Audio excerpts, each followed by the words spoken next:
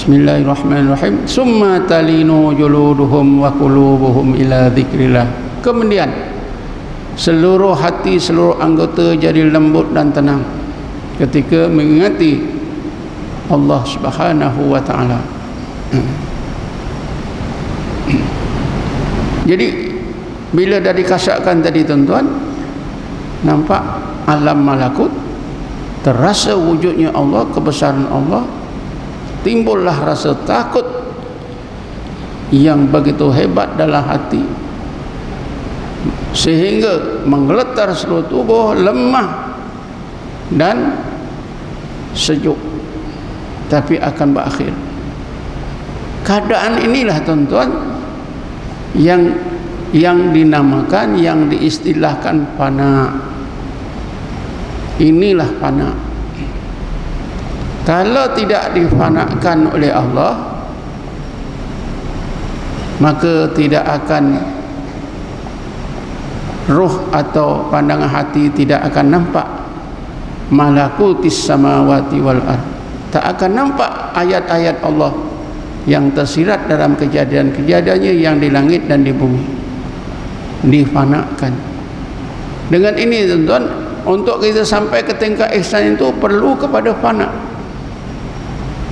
fana ini kurnia daripada Allah. Bahawa makna fana itu dari segi bahasa ialah ya, binasa hilang dan lenyap. Ha. macam selai kertas bila kita bakar hilang dan lenyap. Di dalam Quran dinyatakan bila berlaku hari kiamat semua makhluk hilang dan lenyap. Yang kekal ada ialah zat Allah Bismillahirrahmanirrahim. Kullun man alaiha fanin wa yabqa wajhu rabbika dzul jalali wal ikram.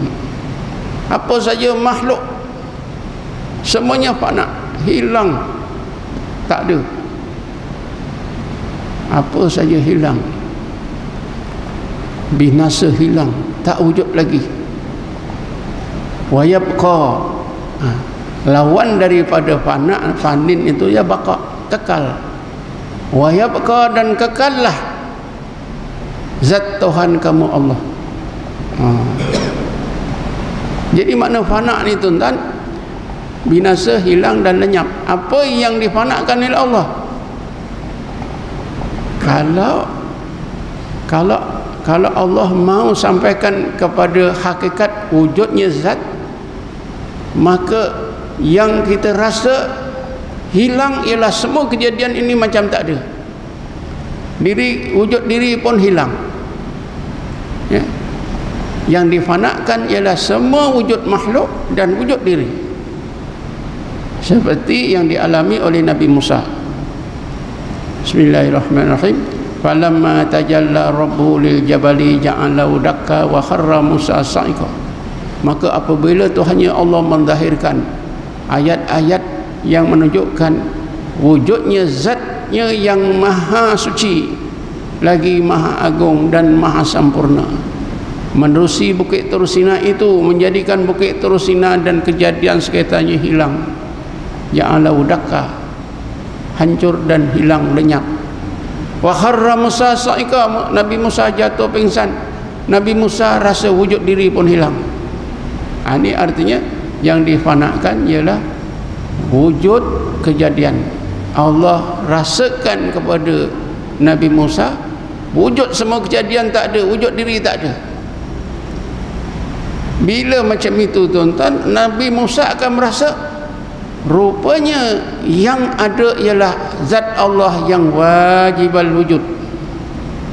Ha, sebab itulah bila kita balik semula balik apa kita ingatkan semula dalam pelajaran ilmu tauhid? Dalam ilmu tauhid menyebutkan wujudnya makhluk itu seperti bayang-bayang. Macam ada macam tak ada. Ha, Nabi Musa mengalami betul. Tadi bila Allah suruh renung bukit terusina ada.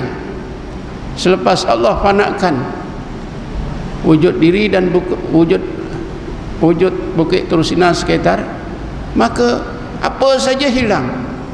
Macam tak ada. jadi ulama tauhid tuan-tuan ya menjelaskan wujud makhluk itu mungkinal wujud seperti bayang-bayang macam ada macam tak ada tu memang betul-betul tepat tapi cuma kita tak faham bila dipahami merusi fana baru kita tahu jadi yang pertama yang difanakkan oleh Allah ialah dihilangkan oleh Allah ialah wujudnya makhluk ini. Bila dihilangkan wujud makhluk Nabi Musa rasalah bahawa yang wajib wujud hanya Allah. Barulah di, dikatakan Nabi Musa sampai kepada tauhidul zat Nabi Musa benar-benar dapat mengesahkan zat Allah yang kedua yang difanakkan ialah sifat-sifat atau perbuatan. Yang kedua perbuatan. Artinya perbuatan kita ini tak ada. Dihilangkan oleh Allah. Yang dirasa hanya perbuatan Allah. Seperti yang Allah permankan. Wallahu khalaqakum wa ma ta'malun. Dan Allah lah yang menjadikan kamu dan apa juga yang kamu lakukan. Yang dipanakkan perbuatan kita. Apa perbuatan kita? Pandangan kita pendengaran kita percakapan kita ilmu kita semua hilang. Bila rasa tak ada barulah kita tahu. Ya, bahawa Allah sajalah yang bersifat kodrat iradat ilmu khayat sama basar kalam. Ha. kemudian satu lagi yang difanakkan oleh Allah sifat-sifat. Sifat-sifat kita